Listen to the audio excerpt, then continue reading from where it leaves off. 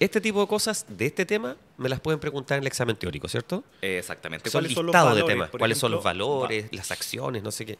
¿Cuáles son estos valores? Esto también puede aparecer como pregunta. La meta de la seguridad vial es la eliminación total de los siniestros de tránsito. Ah, ya, eso está en el tema 1, que se llama siniestro de tránsito, ¿cierto? Exacto. Que uno cree que solo le pasa a los demás y que es un tema azaroso y por eso ahora se dice siniestro y un accidente, Claro. ¿cierto?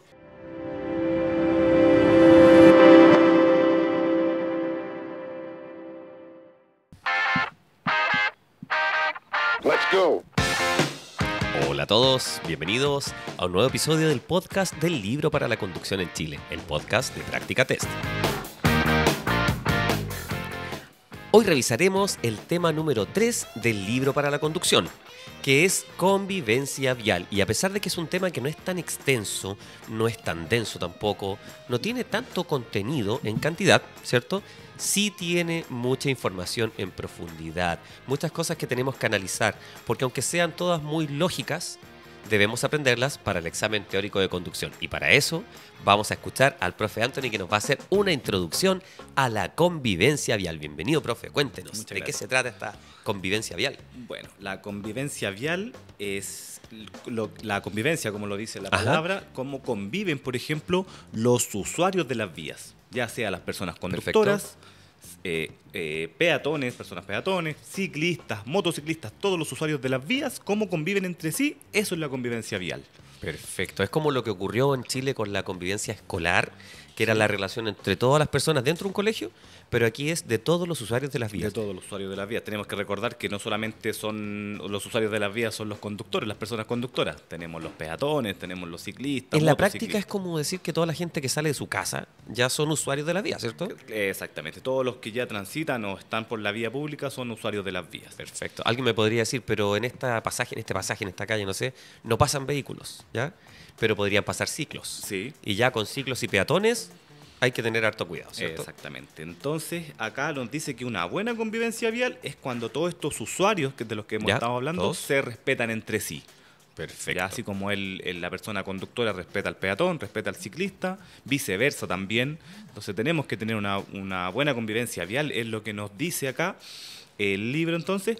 Y para lograr esto, para lograr tener una buena convivencia vial, es necesario que todas estas personas involucradas gocen de una- un nivel adecuado de educación vial.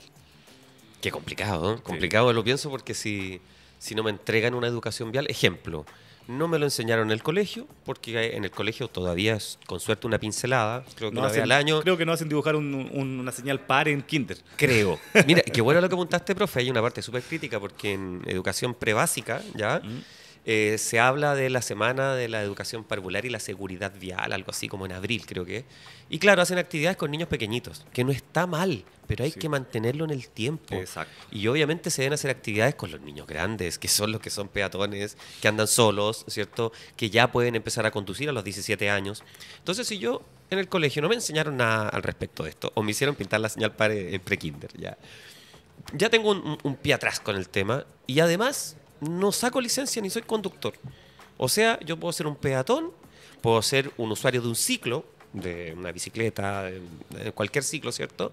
De un scooter, y no tengo idea de la convivencia vial. Y tener nula educación vial. Nula educación vial, o sea, para alcanzar una buena educación vial ya estamos como un poquito complicados, ¿cierto? Una buena convivencia. Eso es una cosa, que es una parte crítica, pero la otra es que si yo voy a sacar licencia, vaya a una escuela conductoria o no, estoy obligado a leer este libro o al menos a pasar el examen. Exacto. O sea que como conductor tenemos una responsabilidad un poquito mayor en ese sentido, ¿cierto? Sí, obvio. Porque la ley nos obliga a aprender esto. Oye, sí, es que yo aprobé un examen teórico de conducir, Ajá. el examen que nos no hacen acá en nuestro país, ¿cierto? Es porque tengo una buena educación vial. Si yo aprobé este examen, tengo la obligación de tener una buena educación vial y una buena convivencia vial. Y ahí el desafío es ponerla en práctica. Exactamente. Y como decimos es lo- nosotros- es lo más difícil. No el primer mes que empecé a conducir con licencia. Toda la vida de conductor, ni los primeros cinco años, porque la gente después del tiempo ya se empiezan a olvidar un poco estas cosas. Profe, vamos a esto de la famosa convivencia vial. Cuéntanos eh, ¿qué, qué es lo importante. Nos decías la educación, pero también se habla de valores y de normas, porque tú decías respetar al otro. Pero yo si respeto al otro, ¿me detengo en una autopista para que alguien cruce? Cuando en el- la autopista no está permitido que un peatón cruce. Claro, es que ahí, por ejemplo, en la autopista no deberían peatones. transitar peatones. O sea, debería respetar las normas del Debería peatón. respetar las normas, exactamente. Entonces, la educación vial se dice que es la, la adquisición de valores imprescindibles para la conducción. Ya, perfecto. Lo primero. Son valores, ¿cierto? Luego tenemos que saber, obviamente, la dentro de la educación vial, saber las señales, las señales del tránsito. Ya, todo lo que es señales, todo... Que está en el tema normas de circulación. Exactamente. Ya. entonces tenemos que saber el catálogo de señales, no solamente las señales verticales, de marcaciones, todo lo que es señales, todo lo que abarca eh, señales, tenemos que saber interpretarlas o conocerlas por lo menos, conocerlas lo máximo que se puedan o saber interpretarlas por lo menos. O sea que eso ya nos da un pie. Para practicar una buena convivencia vial, no necesariamente tengo que ser simpático, ni andarle sonriendo a todo el mundo. Exacto. Que no es malo, ¿ya? Pero me refiero a que lo que debo hacer es respetar las normas. Todo lo que está en norma de circulación en ese tema, yo me lo aprendo, doy el examen, saco licencia, respeto eso y de esa manera voy a estar fomentando una buena convivencia. ¿Cierto? Exacto. Perfecto. Entonces, eh, hablábamos, ¿cierto?, de los valores, que entre ellos está la solidaridad, la comprensión, el perdón y la tolerancia. O sea, este tipo de cosas de este tema me las pueden preguntar en el examen teórico, ¿cierto? Exactamente. ¿Cuáles son los listados de valores? temas. ¿Cuáles son los valores, va- las acciones, no sé qué? ¿Cuáles son estos valores? En este caso, los valores de una buena educación vial serían la solidaridad, Ajá. la comprensión, el perdón y la tolerancia. Solidaridad, comprensión, perdón y tolerancia. Esos cuatro valores. Esos ya. cuatro valores Eso podría la aparecer en el examen teórico. Sí, podrían ponerte así como alternativa, obviamente, y pueden apar- tienes que más o menos uno recordar cuáles son. Ya, Y perfecto. cuáles no son. Que son lógicos. Si Sí. sale la temeridad, no, no tendría sentido, ¿cierto? Claro, exacto. Muy bien. Y ahí tenemos un- algo que nos puede servir para el examen.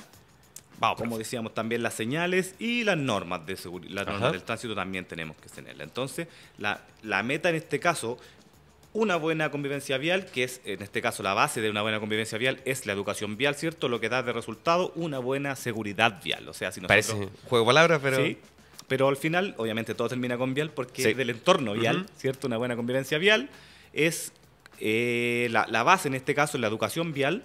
Y si nosotros respetamos todo, eso- todo esto y tenemos una buena convivencia vial, vamos a, al final, todo se resume en una buena seguridad, en seguridad vial para todos. Mira, voy a dar vuelta a la ecuación. ¿ya? Ujú. El el tema de la seguridad es súper discutido en el país y es súper complicado y es algo muy difícil de solucionar, ¿cierto? Exacto. Pero respecto a lo vial, a la seguridad vial, si se relaciona con la educación vial, estamos con un pie atrás, complicado. Pero la convivencia vial depende más de nosotros, ¿cierto? O sea, si todos aportáramos en mejorar la convivencia vial, también mejoraría esa seguridad vial. Sí, obvio. ¿Cierto? Sí, exacto. O sea, hay algo que sí podemos hacer. Claro, si nosotros tu- tuviésemos todos, que es muy difícil obviamente, pero todos tuviesen una buena actitud frente a la, a la convivencia vial, todos eh, eh, aportaran, obviamente sería más seguro, sería un tránsito mucho más seguro. Mira, mira, ya habría Ya. menos siniestros, etcétera, etcétera. Perfecto. Entonces, Por acá- eso se discute acá y se enseña esto. Exactamente. Esto también puede aparecer como pregunta. La meta de la seguridad vial es la eliminación total de los siniestros de tránsito. Posible ¿Ya? pregunta de examen. pregunta, por ejemplo, ¿cuál es la meta de la seguridad vial? También pueden aparecer como alternativas. Es la eliminación total de los siniestros de tránsito. Siempre decimos que son metas súper ambiciosas. Ambiciosa o soberbia, tal vez, ¿cierto? Claro, pero es que no, como una No puede dijiste ser menos. bien, no puede ser menos. No podemos decir, no, eh, no vamos a eliminar el total, vamos a eliminar el 85. O sea, ese Claro. 15% no nos importa. Tiene, tenemos que apuntar a eliminar el, el 100% de los siniestros de tránsito. Porque como tú dices, ese porcentaje que queda se transforma en personas. En personas. Sí, ese es el tema. Este fin de semana largo, por ejemplo, hubiesen, hubieron muchos, muchos, Muchos fallecidos, muchos siniestros. Ya entonces no podemos decir, pucha, ojalá que el próximo año haya en la mitad nomás. O, o- Y que ojalá ocurre en que- los feriados largos, ¿cierto? Claro. Siempre. Que eso no significa que tenemos que normalizarlo. Es la mayor, la- es por eso decimos que los siniestros de tránsito son evitables, porque sabemos cuándo ocurren y cómo ocurren. Perfecto. Ya sabemos que cuando nosotros, por ejemplo, eh, conducimos con, con- con alcohol, por así decirlo, aumentan los, La- las tránsito, probabilidades. ¿cierto? Los fines de semana largos, en la noche también aumentan, entonces nosotros sabemos cuándo ocurren, cuáles son las razones por las que ocurren también, y por eso que son evitables, mayormente. ¿Qué, qué relación tiene la famosa percepción del riesgo, ya que está en el libro de la conducción, con la convivencia vial? ¿Cuál es Por la ejemplo, eh, hay gente, eso mismo, por ej- una persona que, que consume alcohol, por así decirlo, Ya. ya, no, ya no, no tiene esa percepción del riesgo. Ya, por ejemplo, los jóvenes sea, ahí también. tendría una baja una percepción baja del riesgo. percepción del riesgo. Los jóvenes Ya. también tienen baja percepción del riesgo. La gente que. que no que sé, se arroja la temeridad, no sé. Exactamente, que.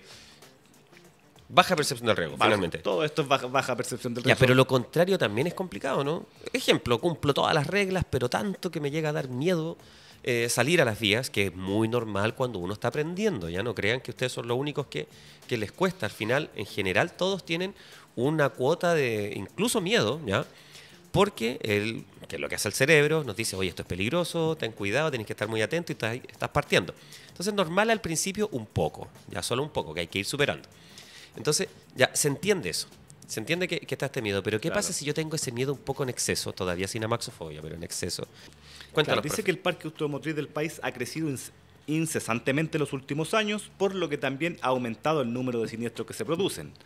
Para combatir este crecimiento de la siniestrabilidad vial, todas y todos debemos colaborar. El primer paso es eliminar la idea de que los siniestros de tránsito solo, ocurren, solo le ocurren a los demás. Ah, ya, eso está en el tema 1, que se llama siniestro de tránsito, ¿cierto? Exacto. Que uno cree que solo le pasa a los demás y que es un tema azaroso y por eso ahora se dice siniestro y un accidente, Claro. ¿cierto? Y aquí se recuerda el porcentaje de cuántos siniestros ocurren por la falla humana, por nuestra responsabilidad. Sí, acá dice nuevamente que cerca del 90% de los siniestros de tránsito son con víctimas son con productos de falla humana. O sea, que serían evitables. de errores producidos por personas conductoras con una equivocada percepción del riesgo. Mira, apunta siempre al tema del riesgo. ¿eh? Exacto. que con o sin alcohol yo puedo tener una baja percepción del riesgo igual. Y sería un peligro. ¿Qué más tenemos que analizar, profe? Cuéntanos. Dice, muchas veces las personas conductoras de automóviles, por querer demostrar su habilidad al volante, no son conscientes de los riesgos a los que se exponen y los que exponen a los demás usuarios al afectar conductas imprudentes como circular a exceso de velocidad. ¿Por qué alguien querría demostrar su habilidad al volante?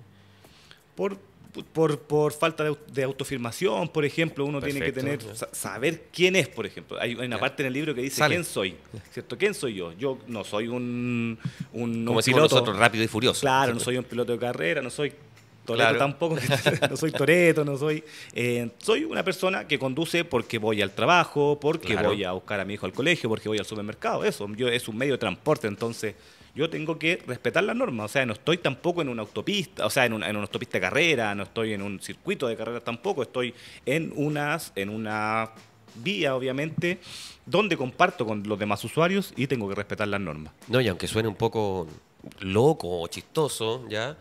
Eh, hablamos entre personas adultas, ¿cierto? Aun cuando la Organización Mundial de la Salud dice que la adolescencia puede durar hasta los 25 años o más. ¿Por qué se ha extendido la expectativa de vida? Pero ¿por qué digo esto? Porque claro, como tú dices, ¿quién soy? Lo mismo uno puede decirlo con el vehículo, ¿cierto? Hay muchos vehículos que comercialmente, se, obviamente se venden y estéticamente se parecen a los vehículos famosos de películas o de otras cosas, pero no son lo mismo. Además, en, en las vías, yo no puedo hacer lo mismo que hay en una película, no tiene ningún sentido, ¿cierto? Exactamente. Así que es importante esa conexión con la realidad, aunque ustedes no lo crean, es importante tener esa conexión con la realidad, ¿ya? Así que eso tiene mucho que ver con el querer demostrarle a otro.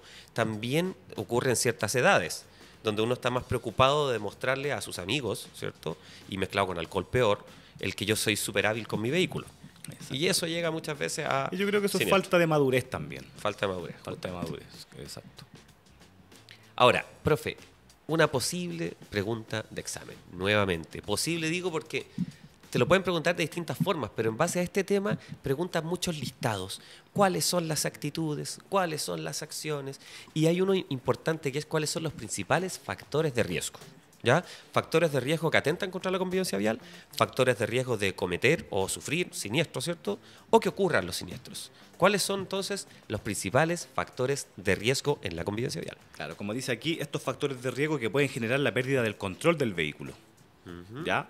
Entonces, los principales factores de riesgo en este caso son las distracciones, ya que son Primero. un factor importante y una de las principales causas de siniestros, sobre todo hoy en día. Uno diría que absurdo, como las distracciones que es algo tan simple, pero vivimos todos pegados al celular. Exactamente. entonces, el El primer uso del problema, celular, el audífonos. audífonos, de manipulación de la. Ahora, por ejemplo, el, el infoentretenimiento que traen los, los vehículos, mucho antes teníamos una radio cierto análoga que teníamos una perillita que girábamos nomás. Mira, es de otro mundo de temas, pero el famoso multitasking, que se ha discutido tanto, que se cree que uno puede hacer hartas cosas al mismo tiempo, y hay hartas investigaciones que han demostrado que no es tan así como se cree, ¿cierto? Claro. Entonces, claro, si uno se cree tan multitasking, multitasking, ¿cierto? De estar utilizando las cuatro extremidades, estar atento a las condiciones del tránsito y además poder manipular toda una pantalla y más variables, creo que es complejo, creo que es difícil, ¿cierto?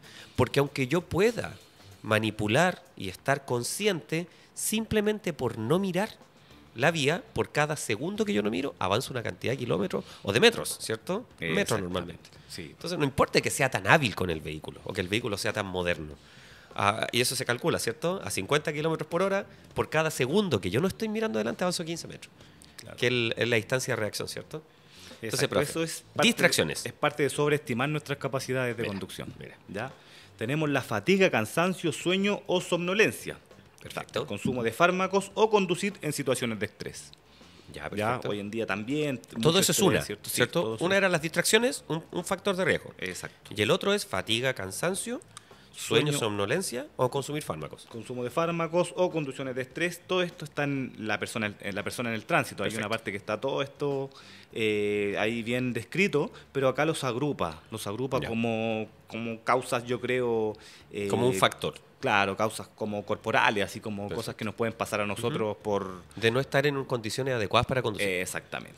Ya tenemos también alcohol y drogas que me- disminuyen las facultades para conducir. Perfecto. ¿cierto? Sabemos que el alcohol y las drogas eh, merman nuestras capacidades, ¿ya? Y una velocidad inadecuada, ya que esta es presente en la cuarta parte de los siniestros con víctimas, que es la desobediencia. O sea, no, no, no siempre tenemos que, aquí cuando habla de velocidad inadecuada, por ejemplo, yo puedo ir a 50 en una zona de 50, pero puede ser una velocidad inadecuada para las condiciones, Para el contexto. para el contexto exactamente. Ejemplo, está lloviendo, por ejemplo, Eh, eh, claro, hay taco, hay muchos peatones, hay una emergencia probablemente y en una zona de 50 yo no puedo avanzar a 50. Exactamente. Perfecto, profe. Entonces, principales riesgos de la convivencia vial, distracciones, Sí, fatiga, cansancio, consumo de alcohol y drogas, velocidad inadecuada. exacto. Por si aparecen por ahí en algún tipo de pregunta. Ahora, profe, cuéntanos esto que tú nombraste hace un rato, este famoso, hablamos del respeto, ahora vamos a pasar a la confianza. El principio de confianza, ¿qué es? ¿Qué dice el libro? Bueno, lo ¿Cómo que- me lo pueden preguntar lo, examen? te lo voy a leer como dice el libro, después lo vamos, lo analizamos, ¿ya? Dice, estos tipos de comportamientos erróneos atentan contra la convivencia ordenada en el tránsito y contra el principio de confianza. Mira. Que lo inspira donde todas las personas conductoras esperan que cada integrante del tránsito cumpla con su papel, que es respetar las normas de convivencia y comportamiento vial. ¿Ya? Debe ser consciente de que estas acciones o infracciones no queden impunes a pesar de que no siempre te fiscalizarán y o sancionarán, ¿cierto? Estas imprudencias pueden desencadenar un siniestro de tránsito donde tú u otras personas resulten afectadas. Eso no lo van a preguntar, pero se llama autonomía moral. Autonomía que yo estoy en un lugar X, no hay, hay una señal pare, no viene ningún vehículo y yo respeto el pare. ¿Cierto? Hacer eso es tener autonomía porque lo hago solo aunque no me fiscalicen y autonomía moral de hacer lo correcto finalmente. Ahora, ¿eso para qué es? Es para evitar siniestros porque uno a veces cree que está en esa situación. O sea, cree que en realidad en el camino X rural, ponte tú, no viene nada. Pero efectivamente muchas veces sí viene. ¿Cierto? Y ahí se producen los siniestros. Exactamente. Entonces, hablando del principio de confianza, es eso. O sea, la gente, por ejemplo, yo como conductor, eh, confío en que el peatón, por ejemplo, no va a bajar eh, eh, inesperadamente a la calzada, ¿cierto? Exacto. Que el peatón cuando le da su semáforo en verde, el semáforo peatonal en verde, él puede cruzar con toda confianza porque tiene la, tiene la convicción de que el conductor se va a detener antes de la línea de detención. Como ¿cierto? debería ser, Como ¿cierto? debe ser. Entonces, ese es el principio de confianza. Y todo esto, todos estos factores, todas estas actitudes o todo, todo esto que aparece acá, atenta contra el principio, contra ese principio de confianza. Entonces, eh, eh, igual es- es- es- sería malo llegar a ese punto de que nadie confía en nadie, que andar en la calle, por ejemplo, siempre no, no nadie respeta el verde, por ejemplo, o yo... O sea, si ocurriera de verdad, habrían muchísimo más siniestros. Eh, O sea, exactamente. la- en la práctica sabemos que la mayoría sí respeta las normas, sí respeta las señales, aunque no estén sonriendo, ¿cierto? Pero sabemos que la mayoría sí lo respeta. Mira, Entonces, te, te pongo un ejemplo. A mí me ha tocado eh, compartir o conversar con personas extranjeros de Ya. Latinoamérica también y me dicen, no, yo en el paso peatonal no paso así como pasan acá en Chile. Acá tú, ahí tú tienes que parar y ver si es que el auto paró y mayormente no paran, no respetan. Y uno no tiene esa confianza de llegar y pasar el paso peatonal como si la tenemos todavía acá en, en nuestro país. Ya la gente muchas veces, el peatón pasa, se siente en el derecho y pasa en, en el paso peatonal porque es, tiene el derecho preferente, paso en el paso peatonal, ¿cierto? En el paso Claro. cebra. En otros países no es así. que es algo positivo de Claro, Chile. es algo ¿cierto? positivo acá. Y, que antes se caracterizaba ya una ciudad donde se supone que pasaba, no sé si ahora estará igual, pero en Viña del Mar se supone Ya. que se respetaba mucho al peatón. Sí. Había una creencia de que pasaba, yo cuando chico varias veces me ocurrió que sí, eh, era distinto a, a por lo menos Santiago. Pero claro, lo que tú estás diciendo, ese es el principio de confianza. Aquí hay otra cosa que no está en este tema, pero sí está en el libro y se puede preguntar en el examen, que es el tema de la conducción a la defensiva. Principio de confianza es que yo confío que la mayoría va a respetar las normas. ¿Y la conducción defensiva qué es lo que es? La conducción eh, defensiva, acá por ejemplo, yo creo que el principio de confianza Se abarca... conectan. a- claro, pero yo creo que el principio de confianza abarca a todos los usuarios. Ya. En cambio, la conducción defensiva solamente habla de la persona conductora. Perfecto, ¿Por qué? Porque ahí perfecto. hablamos de, la, de, lo- de los usuarios vulnerables. Bien. ¿Quién tiene que estar más atento? ¿Quién tiene que estar más defensivo? En este caso es el conductor, porque va en un vehículo. Siempre el, el- el conductor tiene las de ganar frente a un usuario vulnerable, Exacto. como sea un motociclista, como sea un ciclista, o como sea un peatón o una persona de un, un peatón o, pe- o peatón. Entonces, claro, en este caso, el- la conducción a la defensiva es estar siempre atento al error del otro, del otro usuario, por así decirlo, pero ahí netamente es hacia el conductor. ¿Ya? Perfecto. Y la conducción defensiva es estar atento a los posibles errores del resto. Ah, exactamente. Entonces, principio de confianza, confío en que la mayoría respeta las normas. Conducción defensiva, de todas maneras estoy atento porque se pueden equivocar. Exacto. Porque errar es humano, dice el libro, ¿cierto? Perfecto, profe. Profe, antes de continuar, para que vamos al entorno vial y todo lo otro que aparece en este capítulo, que puede servir para el examen teórico de conducción, te voy a contar de que si tú estás pensando en comprar o renovar tu auto, debes saber que Dili presta un servicio para cada etapa de compra-venta de tu vehículo, desde el pago seguro del vehículo 100% libre de fraude hasta la transferencia de dominio online. Ya sabes, si quieres hacer todos los trámites de tu auto en un mismo lugar, ingresa a dili.cl. Y también saludamos a nuestros amigos de Autoplanet. Todo lo que necesitas para tu auto se encuentra en 65 tiendas en todo Chile y en autoplanet.cl. Además nos puedes buscar en los beneficios de Autoplanet para todos sus clientes y encontrarás descuentos de práctica test. Y nuestro nuevo amigo que te vamos a contar que es algo que puede ampliar tus posibilidades laborales porque ellos son expertos. Aquí estamos hablando muy, muy en serio porque trabajan con cosas súper delicadas e importantes. Por eso puedes tener mejores opciones laborales. Nos referimos a INASEX. Ellos son el mejor centro de entrenamiento minero del país. Tanto online como presencial. Tienen sedes en muchos lugares de Chile y además su página web. Así que los invitamos a todos a visitar inasex.cl y podrán obtener, si se convierten en alumnos de Inasex, un acceso especial a práctica test para la práctica del examen de clase D, el que permite manejar maquinaria, ¿cierto? Así que los invitamos a revisar todas estas opciones que pueden ser muy importantes para ti. Entonces, profe, cuéntanos ahora qué es el entorno vial. Yo creo que la palabra lo dice, el concepto, pero ¿de qué se trata? ¿Cómo está en el libro? En el libro dice que las vías por donde circulan los vehículos conforman el entorno vial. Pero este entorno vial es mucho más que calles o carreteras, ¿ya? Por los que se pueden circular. Este es un espacio de convivencia social, un entorno en el que se desarrollan las personas como seres humanos. Los vehículos son conducidos por personas, ¿cierto? Mira. Las calles y las carreteras las utilizan las personas y todas estas personas son en realidad el tránsito. Ya uno siempre, cuando uno le dice la palabra tránsito, uno que, que se imagina semáforos, ciertos señales, calles. Al final el tránsito en realidad somos nosotros, las personas, los usuarios. ¿ya? Para, el que el tránsito sea, para que el tránsito sea ordenado y seguro y no se produzcan siniestros, existen reglas que se deben cumplir y que se deben y que se apoyan en una serie de principios como el de la confianza, el que estábamos hablando hace un rato, ¿cierto?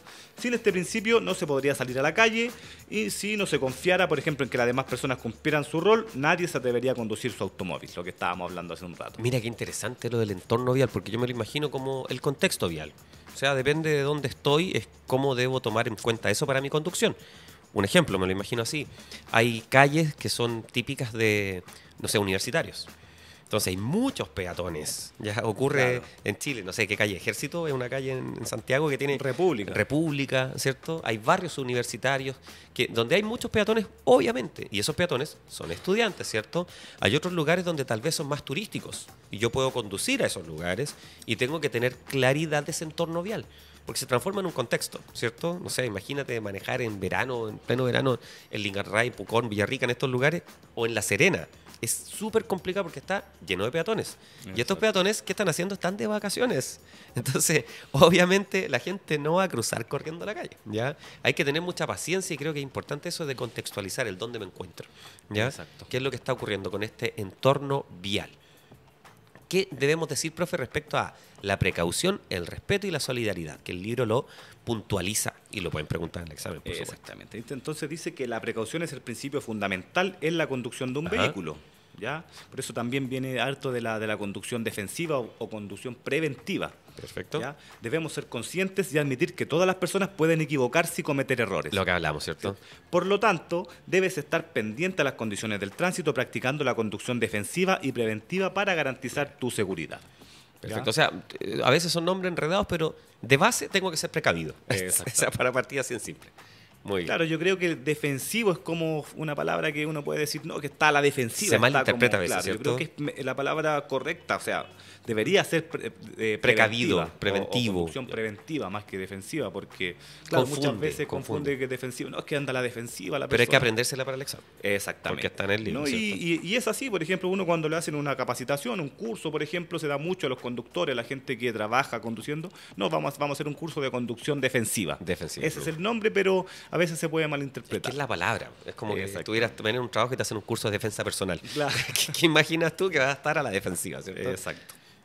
También habla del respeto, dice que la actitud de la conducción de los automóviles debe ser de respeto hacia las demás personas y hacia ti. Debes mantener en todo momento una actitud segura, responsable y tranquila, el que, la que te ayudará a conducir mejor. Esto es gratis y no debiera ser difícil, ¿cierto? Exactamente, Pero y es, muy importante difícil. que dice las demás personas y hacia ti también, o sea, nosotros Mira. también como conductores tenemos que tener tenemos que tener claro que yo no soy de acero, no soy Superman, o sea, el vehículo es, es metálico, yo no. Entonces, en caso de un siniestro, el cuerpo resiste hasta cierto punto, hasta cierta No, velocidad. y mira, y esto de perder eh, la tranquilidad, ¿ya? De enojarse mucho, eh, hay ciertos contextos donde uno pierde, ¿ya? Claro. No sé, en el colegio te retaban, ahora tal vez la gente diga que no, porque te hacen conversar, convivencia escolar y todo ese mundo, ¿ya? Pero en la conducción y en las vías, normalmente, entre más te enojes o entre más impulsivo seas, lo más probable es que peor lo pases. Obvio. O que lo paguen muy caro. No me refiero a que te van a meter preso, ya, pero me refiero a que ya los daños a los vehículos es un problema. Partiendo por lo material ya es un problema. Ahora, los daños físicos ya es algo muy complicado. Porque una puerta de un auto se puede reemplazar. Un dedo, un brazo, aunque suene tétrico tal vez, no es reemplazable. Ya, o sea, hay que tener mucho ojo, mucho cuidado y por eso respeto a uno mismo y respeto a los demás. No, y lo que hablaste, lo que dijiste tú recién, de que quizás no te van a meter preso, han llegado a, a esos puntos. También hay se llega a gente eso. que, por ejemplo, mm, llega más allá, que por, por una equivocación del otro lo, lo increpa, se bajan, Lo pelean, se, se siguen, o sea, por de repente por un error, porque eso, eso también es una de las bases de la, de la conducción preventiva defensiva, es ponerse en el lugar del otro, que el otro puede cometer un error y no tomarlo como una ofensa, no tomarlo Exacto. como, un, como una ofensa hacia mí, o sea, tomarlo como que la otra persona se equivocó, así de simple, y todos cometemos errores. Ya todos podemos, estamos expuestos a cometer errores porque somos seres humanos. Y también todos tenemos paciencia, o sea, distintos niveles de paciencia, o estamos estresados. Por eso eh, la conducción requiere y es en sí misma una exigencia muy alta tal vez para nosotros. Entonces hay que tomarlo con tranquilidad, ¿cierto? Exactamente. Tomarse el tiempo para ello. Y aunque suene extraño, porque sé que la mayoría conduce entre medio de muchos tacos, los que están sacando licencia se van a encontrar con, con muchas cosas, tratar incluso hasta de disfrutarlo. Hay gente que disfruta de la conducción y es mucho mejor al final. De la solidaridad, profe, ¿qué nos dice el libro? Dice que en este caso la sol- solidaridad es la mejor virtud que se puede tener al conducir un vehículo. ¿ya? Esta permite que dicho entorno funcione armónicamente, ya que se llevan a cabo acciones como ceder el paso, dejar espacio suficiente para permitir que te adelanten, tener consideración con las o los usuarios vulnerables, entre otras prácticas en pos de una buena convivencia vial. Perfecto, profe. Para cerrar, no vamos a terminar en dos minutos, nos falta harto todavía, pero vamos a hablar sobre las claves de la convivencia vial que están en el libro. Ya son 11, es harto, ¿ya? Y aquí hay ideas de las que ya hemos conversado, pero cada una de ellas se podría transformar en una pregunta examen, o sea, hay que ponerle mucha atención. Vamos con estas claves, profe. Primera clave. Dice, cuando debas conducir, no lo transformes o no, no lo hagas transformando la ocasión en un momento de molestia o angustia. Lo que recién dijimos, ¿cierto? Exactamente. No. O sea, si me molesta manejar y lo tengo que hacer, puede ser esporádicamente, pero si voy al trabajo en mi vehículo, tengo que resolver ese conflicto. ¿Cierto? Exacto. Si no voy a sufrir todos los días o lo van a sufrir mis compañeros de trabajo. No, y mayormente cuando uno va al trabajo va en horario de la mayor... En hora. ¿cierto? Exactamente. Obvio. Entonces va y vuelve en los horarios que hay más vehículos, donde todos quieren llegar temprano al trabajo, donde de vuelta todos quieren llegar luego a su casa. Entonces, Y llegar seguros. exacto. Clave número dos. Dice, para conducir con seguridad debes estar suficientemente protegido o protegida, utilizando siempre el cinturón de seguridad y asegúrate de quienes te acompañen también lo usen. Si no lo haces, es responsabilidad tuya, ¿cierto? Te podría sacar un parte y en el examen práctico puedes perder la, oportunidad. Es Puedes una reprobar. falta reprobatoria. ¿Ya? También dice que debes conducir siempre a una velocidad adecuada y segura, la que te permita mantener el control del vehículo y reaccionar a tiempo ante cualquier situación imprevista. Tu prisa no debe poner en riesgo tu vida ni la de las demás personas. Tómate todo el tiempo que sea necesario para conducir. Incluso el libro trae unos cálculos extraños en esta tercera clave Mm. sobre cuánto te demora, si aumentas la velocidad 10 kilómetros más, llegas 3 minutos menos. O sea, en ¿Cuánto el fondo, ganas ¿cuánto ganas realmente? Lo que se busca al final es pensar eso, ¿cierto? O sea, si me voy, la gente que sobrepasa los 120, que es lo máximo permitido, para poder llegar a un lugar en vacaciones o como sea, ¿cuántos realmente antes llegan? ¿Ya? Y a veces son 10, son 15, no sé, 20 minutos. ¿Valdrá la pena esos 20 minutos por, primero, cometer un delito, ¿cierto? Segundo, poner en riesgo mi vida y la de los demás. O simplemente poner en riesgo mi inversión que es el vehículo. ¿ya? Entonces, eh, a eso apunta, ¿cierto? Vamos a la cuarta clave, profe, muy cortita, Concéntrate solo en la conducción. cuando hablamos de las distracciones, ¿cierto? Exacto. ¿Ya? Número 5, clave 5. Adapta tu conducción. Adapta tu conducción a las condiciones climáticas, ambientales y del pavimento. O sea, el contexto. Al contexto exactamente. O sea, si las condiciones climáticas son adversas, tenemos que adaptar nuestra conducción, bajar la velocidad, ¿cierto? Ambiental en este caso también, y del pavimento. Si la calle no está en buenas condiciones, también tengo que adaptar mi velocidad, ¿cierto? Clave número 6. Recuerda siempre ver y ser visible. La prevención será siempre su principal defensa. ¿Cómo puedo hacer eso? Ver y ser visible. Eh, con las luces, las luces Por que ejemplo, tiene con las nuestro luces, vehículo, por ejemplo, eh, nosotros muchas veces acá, mayormente las luces bajas son obligatorias, no solamente de noche. Sabes que dentro de la- una zona rural, por ejemplo, interurbana, tenemos que encender igual nuestras luces bajas. En la autopista, por ejemplo. O cuando yo ya saqué licencia, porque al principio cuesta, ¿cierto? Ya aprendí, saqué licencia, ya estoy conduciendo en autopista y empiezo a descubrir dónde están los puntos ciegos. Así como a mí me pasa como conductor, como persona conductora, eh, debería evitar yo quedarme en el punto ciego de alguien también, ¿cierto? Exacto. ocurre, porque en el fondo va a ser peligroso. Sobre todo en vehículos grandes, sobre en todo en los vehículos camiones que tienen No quedarte en ese ángulo donde no te ven bien. Exactamente. Siguiente clave, profe, la número 8 ya. Mantén, 6, 7, dale. mantén una distancia suficiente y prudente con los demás vehículos y las y los usuarios. No des por hecho que las demás personas conductoras te hayan, se hayan dado cuenta de tu presencia, conduce a la defensiva. Va muy de la mano con lo que hablábamos recién, ¿cierto? Que eh, verificar que me vieron, o sea, yo... Confirmarlo, sí. Confirmar que me están viendo. Por ejemplo, eso yo creo que también da, eh, va mucho hacia los peatones también. Yo le daría Pero mezcla todo, mezcla un poco el principio de confianza, mezcla el, el tema de las distancias, de reacción, de frenado, tiene mucho, mucho sentido. La Ahora siguiente la dice, siguiente. respeta siempre las normas del tránsito y aprende su significado. Ya lo dijimos, ¿cierto? Sí, tenemos, ten- estamos la obligación de aprender siempre, la, sabernos las normas, ¿cierto? Y aprendernos el, signi- el significado de, de todas las señales. En cierto sentido, aunque suene, no sé, eh, tradicional, como se dice, cursi o lo que quieran decir, en respetar las normas yo respeto a los demás también. Exacto. ¿Cierto? En el tránsito es así. Entonces dice acá... Número nueve. Mantén tu vehículo en perfecto estado de funcionamiento. Esto es una obligación legal. Está Es la ley de tránsito, Exacto. ¿cierto? Nuestra responsabilidad, mantener nuestro vehículo en buenas condiciones, con todos sus sistemas de seguridad eh, funcionando. Funcionando. Número 10, profe. Dice, conduce solo si te, encuentran, si te encuentras en las mejores condiciones físicas y mentales. O sea, si me siento mal porque estoy resfriado, porque tengo alergia, porque tengo depresión, porque me pasó algo, debería evitar conducir. Si consumí alcohol, por ejemplo, aunque sea en bajas, bajas cantidades, Evitar no- la conducción. voy O a sea, no conducir en el fondo. Exactamente. Y la clave número 11 para la convivencia vial.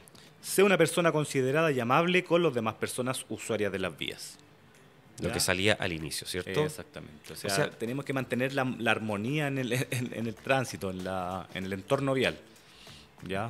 Perfecto, profe. Muchos de estos temas los vamos a tratar en el siguiente capítulo del libro, que se viene mañana, ¿cierto? Vamos a tener podcast de nuevo. ¿Y cómo se llama el siguiente capítulo? La, persona en el tránsito. Perfecto. Entonces mañana los invitamos también a conectarse en el mismo horario, a las 17 horas por Instagram. Luego lo pueden escuchar en Spotify, que como escuchar el, el podcast en Spotify, imagínate. De verdad yo cuando saqué el- la licencia me hubiera encantado tomar el celular, entrar a Spotify y poder escuchar todo respecto a lo que tengo que aprender para aprobar el examen. Así que hasta la próxima, profe.